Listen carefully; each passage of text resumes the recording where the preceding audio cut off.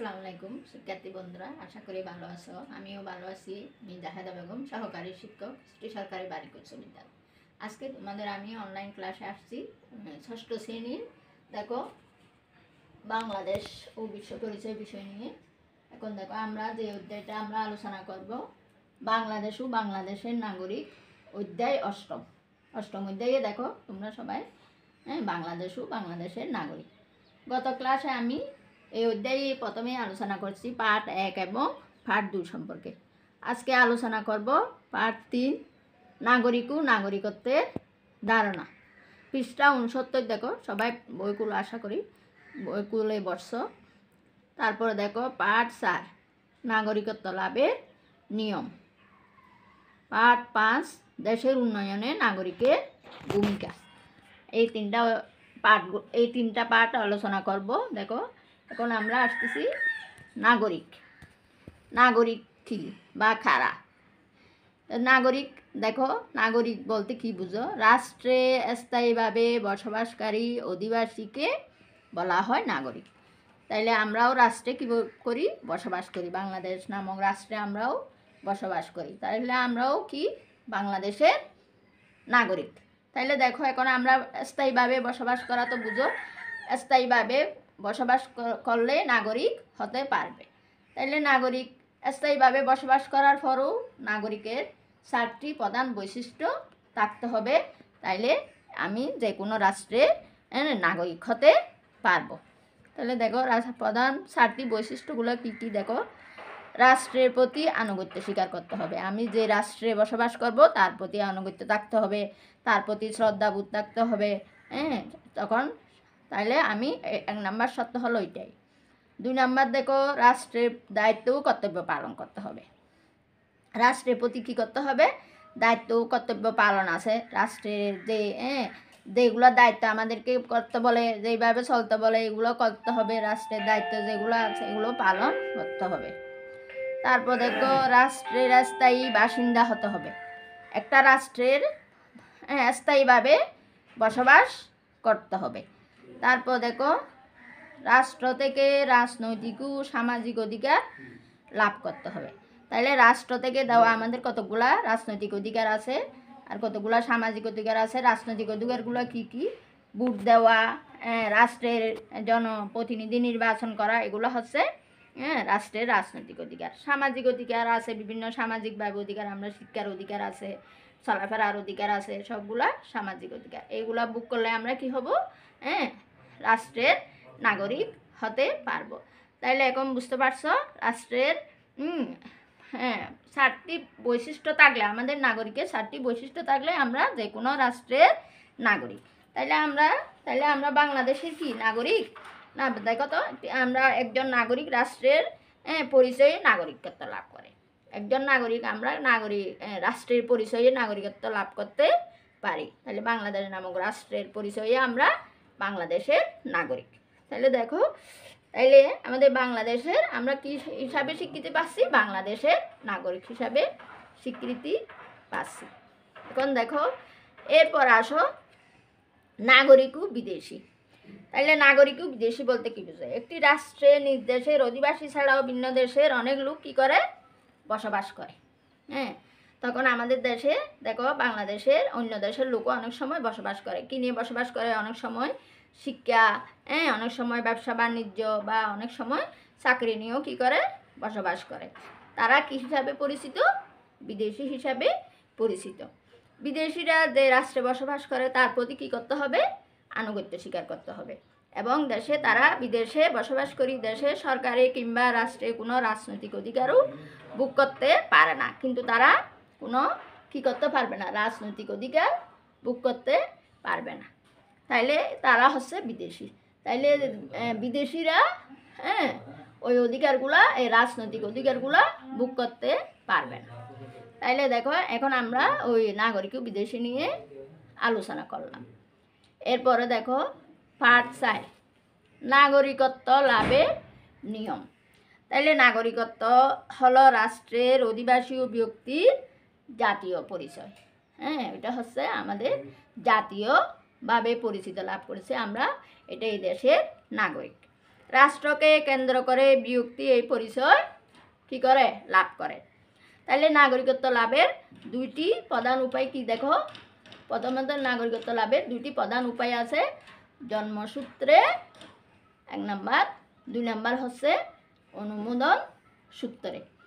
তাহলে জন্মসূত্রটা দেখো, জন্মসূত্রে নাগরিকতা লাভের আবার দুইটি নিয়ম আছে, দেখো।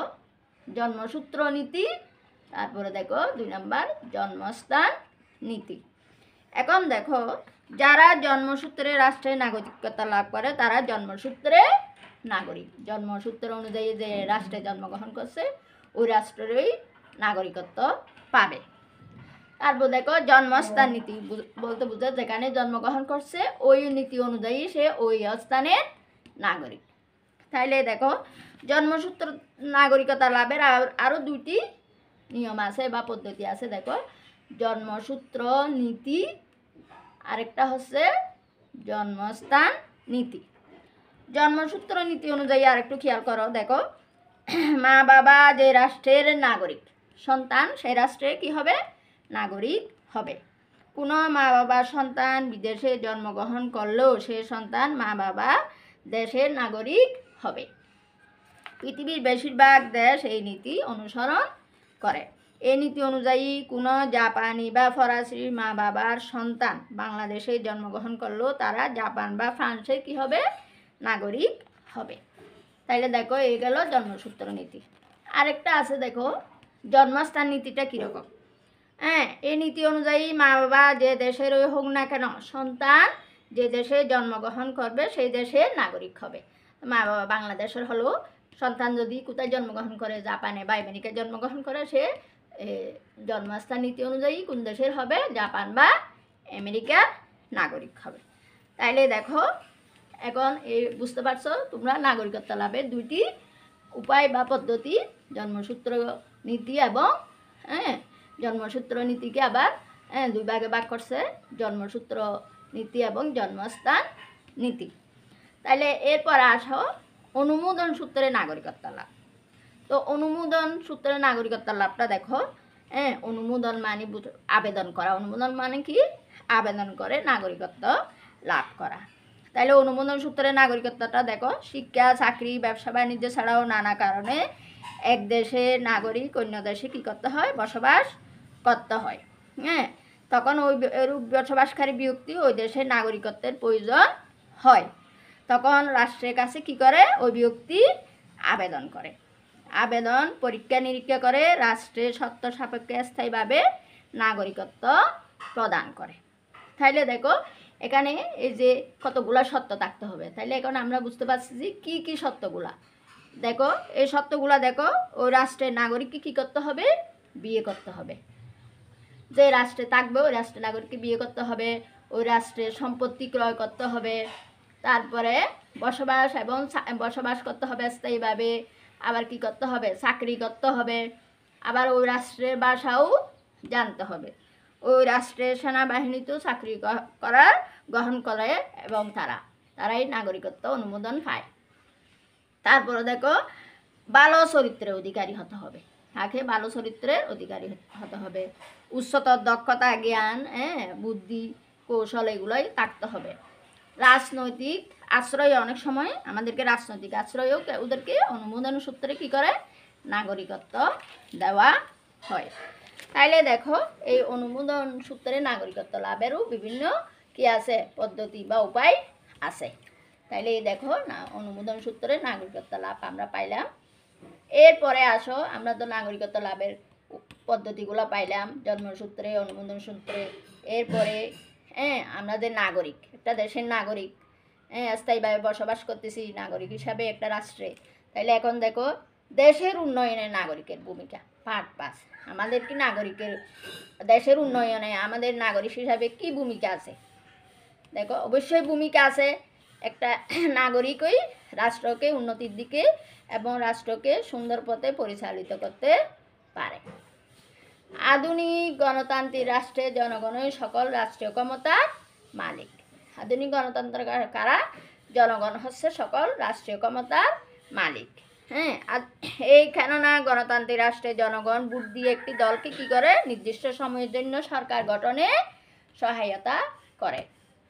রাষ্ট্রে শাসন, পরিচালনা, সুশাসন, প্রতিষ্ঠা ও উন্নয়ন সহ সব কিছুই নির্ভর করে নাগরিকের সততা, তারপর দেখো দক্ষতা তথা নাগরিক হিসাবে যথাযথ যথাযথ ভূমিকা পালনের উপর। নাগরিক এবং সরকারের সুষ্ঠুভাবে দায়িত্ব পালনে দেশ দ্রুত কোন দিকে যায়, উন্নতির দিকে এগিয়ে যাবে। তাইলে বুঝতে পারছ এখন? একজন নাগরিক দেশের উন্নয়নে অনেক গুরুত্বপূর্ণ বা ভূমিকা পালন করে, যে ভূমিকার দ্বারা হ্যাঁ দেশ দ্রুত উন্নতির পথে এগিয়ে যাবে, দেশকে উন্নত সমৃদ্ধি করতে সক্ষম হবে। তাইলে এখন বুঝতে পারছ? তাইলে আমাদের দেশ আমাদের দেশ, দেশটাকে উন্নতি করার জন্য আমাদের বা নাগরিকের ভূমিকা অবশ্যই অপরিহার্য। তাহলে দেখো, আজকে এতটুকু পর্যন্তই আলোচনা করা হলো। তোমরা ভালো করে পড়ে নিবে। যাতে হ্যাঁ প্রস্তুতিগত পারো পরীক্ষা যেভাবে আসুক প্রশ্ন, এভাবে উত্তর দিতে সক্ষম হোক তাহলে ঠিক আছে, আজকে এতটুকুই।